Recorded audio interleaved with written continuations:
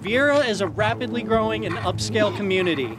As most of you know, this is going to be the new cornerstone piece for the new Viera Town Center. We are ecstatic to have such great partners that have and continue to support us, starting with the Viera Company. They have opened a lot of doors for us and paved the road to starting this massive project.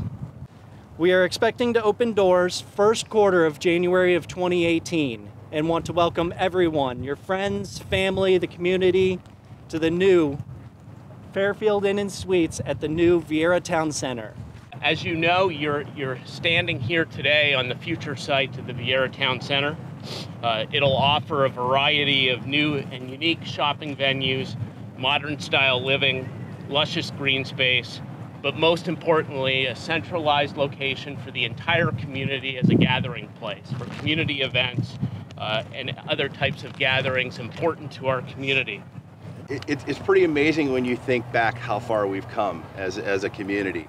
Uh, back in 1989, um, John L. Duda stood out in a pasture here with nothing around. When you take a look around today and you see these government buildings and you see all of this, you can imagine what it was like for him to sit back in 1989 and tell people that he was, that the Duda family and that the Viera company we're going to build a new town.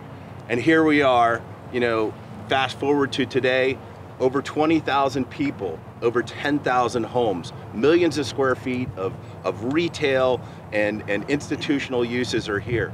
This has become people's home. This has become a place where people have invested. And I think it declares this building, this, this project declares one more time that Viera and indeed Brevard County is the place to be. So I think this is this is the synergy between USSSA and this building block for the town center is going to be extremely huge for the area.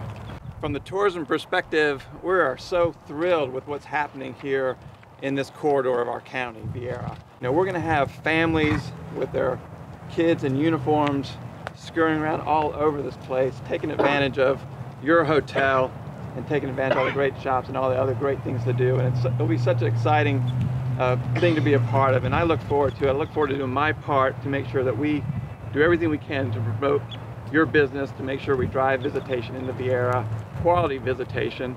It's not necessarily about numbers, but we, we want high value customers. And I think we're going to see that happen with our USSSA project and quality hotels like this Fairfield Inn. Hopefully several years from now you're going to be looking over, not only will you see a completed hotel, but you'll be seeing a park area with, uh, with an opportunity, as Todd said, for people to gather there overlooking the Durand Development Center. You'll see other retail and restaurants here. You'll see people dining on the street here. So this is step one in another phase of the project that we've been at since 1989.